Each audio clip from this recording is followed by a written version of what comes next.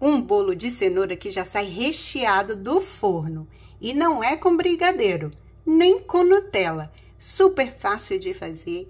E depois dessa receitinha de hoje, você só vai fazer assim. É uma delícia! Fácil de fazer, fácil de ser devorado, não sobra nada. No liquidificador, vou começar batendo três ovos inteiros. Uma xícara de óleo. A medida da minha xícara é de 200 ml. Uma cenoura grande, picada e já te convido a se inscrever aqui no canal. Meu nome é Gisele, moro aqui nos Estados Unidos e não só ensino receitinhas bem práticas e econômicas, mas também mostro para vocês um pouquinho da nossa vida em vários vlogs. Então venha para cá e não esqueça de ativar o sininho das notificações para você sempre ser notificado e vir conferir junto comigo quando eu postar alguma novidade. Se inscreve, vai! É de grátis, você não paga nada. Uma xícara de açúcar e vou bater bem.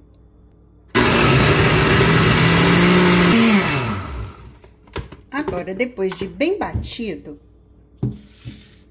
eu vou colocar em um bowl.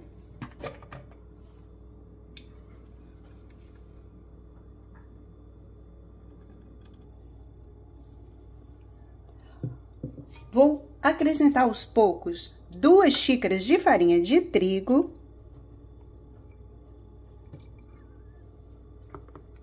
Qual é o seu bolo favorito? O do produção, eu acho que são todos, mas esse aqui vai fazer uma surpresa para ele. Pois vive falando que eu não faço sempre. Então, hoje, eu vou surpreendê-lo com esse bolo. E te aconselho a fazer o mesmo. Escolha uma pessoa bem especial da sua família para você fazer esse bolo. E você vai ver que você vai ganhar muitos elogios. Então, terminando as duas xícaras. Vou colocar uma colher de sopa de fermento em pó para bolo. Se você tiver um liquidificador bem potente, você pode bater tudo no mesmo copo do liquidificador. Mas, se não tiver, aconselho a usar o bol.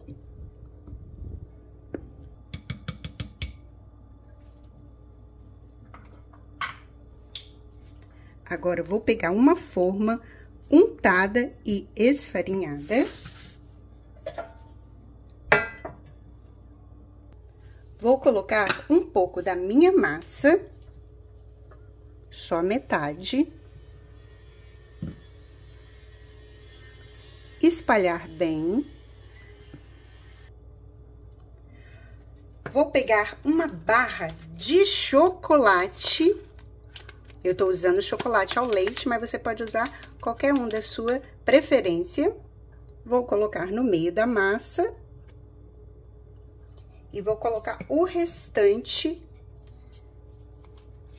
da massa cobrindo bem. Por cima, vou espalhar um pouquinho de chocolate granulado.